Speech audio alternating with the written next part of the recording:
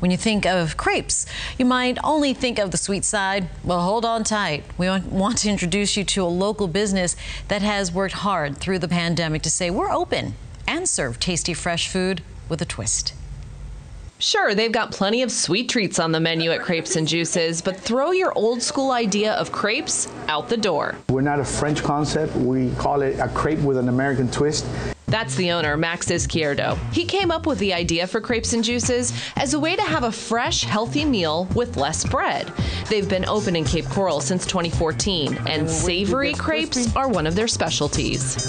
Put, you know, chicken, bacon, we do a buffalo chicken, we do a chicken bacon ranch, a burger crepe. But that's just the beginning. They've got homemade stuffed crepes for days, smoothies, juices they extract on the spot, super fruit bowls. But what really sets them apart is the burst of flavor you're going to get in most of their dishes. It's a taste Max grew up with.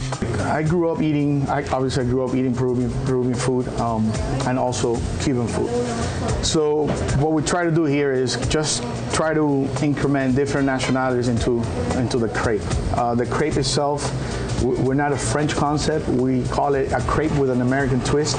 Um, so we try to bring different flavors into the crepe uh, so everybody can, everybody can have a little bit of what they used to have. You can taste his family roots in one of my favorite dishes, the house rice bowl. Spinach, cilantro rice, the most amazing seasoned onions, fresh grilled chicken breasts, and the sauce. Seriously, it's like liquid gold if you ask me.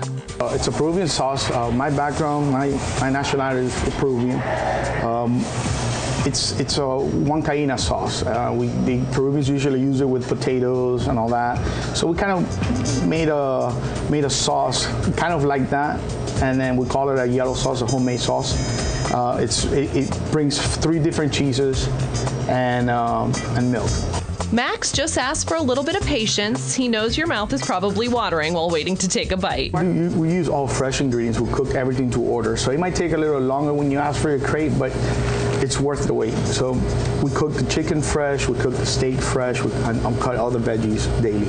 And if you stop by and don't know where to begin when you look at the menu, take a note from him. What's your, if you had to pick one thing on the menu, favorite item? Putting you on the spot. On the savory ones, there's two things. I eat the uh, the house rice bowl, okay, which it reminds me of the uh, arroz con pollo from from Peru, which is a it's a rice cooked in a green cilantro sauce, mm. okay. And the other one is that churrasco churrasco rice bowl, skirt steak, which is really tender on top of you know on a bed of yellow rice with lettuce, tomatoes, onions, and our famous chimichurri sauce. Okay every bite, even the really embarrassing, ungraceful ones like mine right here, is like eating dinner with family. And Max is hoping you'll stop by with yours to try his labor of love. We're all hungry now. All right, and of course, that was our morning anchor, Amy Wegman, reporting. The produce, they say, all local, delivered from Immokalee every week. Kreips and Juices also delivers, if you're wondering, within a five mile radius of their store on Del Prado, but they do hope to expand that soon. So if you live further out, of course, you can order through Uber Eats and DoorDash as well and have that pisco sour at home.